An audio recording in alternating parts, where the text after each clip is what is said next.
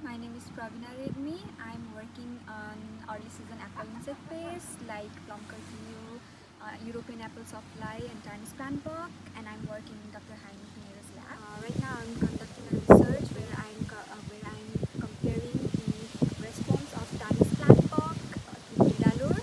Uh, well, PredaLure contain methyl salicylate which is also called uh, and uh, since we are we are conducting this research for like almost three months uh, and and so far we are getting promising results as we are finding more tarnished plant bug on PredaLure as you can see this is the PredaLure and uh, here we can see like tarnished plant bug and we have some beneficial insects as well.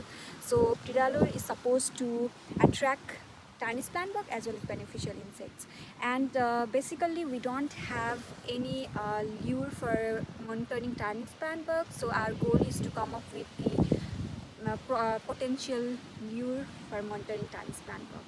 Thank you. Here we have another research where we are comparing the plum curculio infestation uh, in the grafted tree versus non-grafted tree and uh, we have like six cultivars in a grafted tree and you can see this this is the yellow transparent and there are lots of fruits and we can see some of the like plum curculio injuries here. Like here we have and here we have. So like uh, and and also in other cultivars we can see the plum curculio injuries. And uh, our main goal is to like control the plum curculio to the most possible way. So for that reason we are planting this plum tree. As we know like plum tree is the original host of plum curculio so so we want to bring plum curculio into these trees and then kill them. So thank you